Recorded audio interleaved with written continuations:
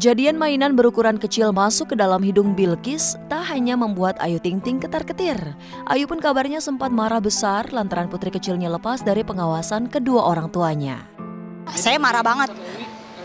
Ya sama ibu sih ya, ya saya juga nggak bisa marah begitu banget gitu kan ya paling kesel aja gitu. Saya cuma ngingetin aja gitu jangan sampai kayak gini lagi. Kalau bisa kalau mau main yang yang bentuknya tuh yang besar besar gitu yang nggak bakal bisa masuk ke dalam lubang hidung, mulut atau mungkin telinga. Karena emang pas Berapa hari lalu saya memang ke toko mainan buat beli kado temennya Bilkis ulang tahun. Nah terus Bilkis emang dapat hadiah Lego tuh uh, dua kan, uh, berapa kantong plastik tuh Lego-Lego yang kecil-kecil yang bisa dipatah-patahin gitu.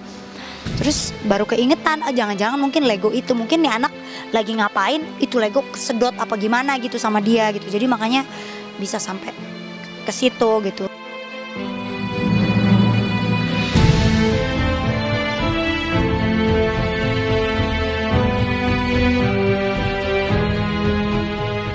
Demi kejadian serupa tidak terjadi kedua kali, Ayu pun langsung menyingkirkan semua bentuk permainan berukuran kecil, serta menasehati Bilkis untuk tidak bermain lagi dengan mainan kecil.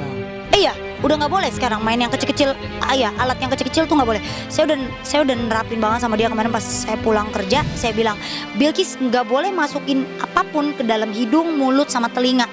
Iya bunda nggak boleh masuk hidung, mulut, telinga. Dan dianya tuh cerita gitu bunda dokter marah gitu katanya Ikis nakal gitu. Terus Ikis main make up make upan bunda. Itu Lego Lego masuk ke hidung gitu.